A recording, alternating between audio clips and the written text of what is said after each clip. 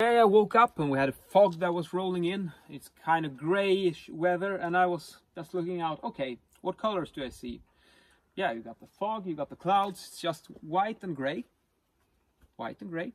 But the trees are green, so we've got some green here.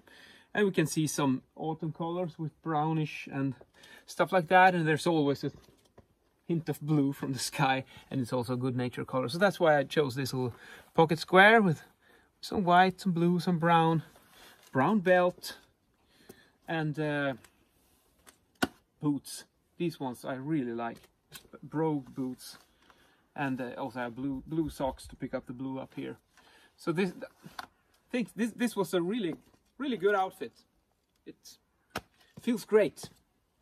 Very very casual, but a, a proper blend of colors. Simple. Keep it simple.